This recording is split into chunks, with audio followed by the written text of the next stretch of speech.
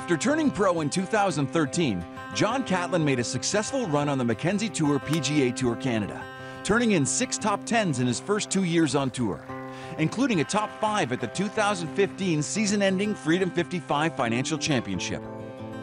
But there was always something missing his main supporter and biggest fan, his mom, Gail. About a month and a half into being, being a pro, and I get a call from my dad. And he's like, John, I need you to meet me, meet me at the hospital. Your mom's had, had another major stroke. And I, that's probably the lowest I've ever been in my whole professional career. So I'm getting a little emotional about it, but. They couldn't figure out what was wrong with her.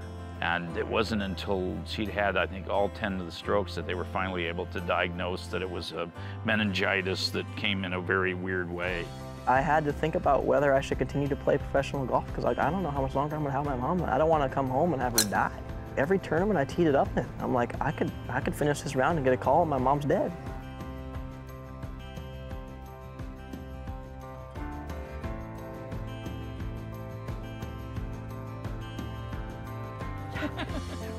We're all very happy. It's all good. And you're good. Yeah.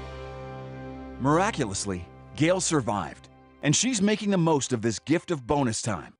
She made the trip from Sacramento, California to Vancouver to see her son tee it up for the first time as a professional. Man, I'm so excited because she finally gets to see me because honestly, I didn't know if she was going to make it. There was about a 14 month stretch there where we didn't know if she was going to make it till, till the morning. That bond between this mother and son is strong, cultivated over years of chasing the junior golf circuit around the country. My mom was the one that took me to all of the junior golf tournaments. She dropped her very, very big salary career. She sacrificed so much. The amount of things that she learned about high-level competitive golf just so that she could be helpful was sort of inspirational, I think, to me, you know. He's, he's just, you're just wonderful. he's, he's very sweet and kind, but he cares about us. That was a good shot. He's just a wonderful person.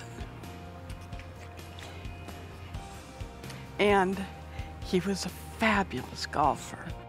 She taught me a lot. My steely, steely resolve, that winning, that winning mentality that I've had my whole life, dream setting, goal setting, comes from her.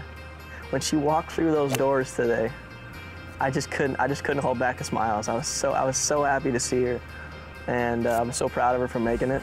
And um, it's just, I'm really, really happy to you're done?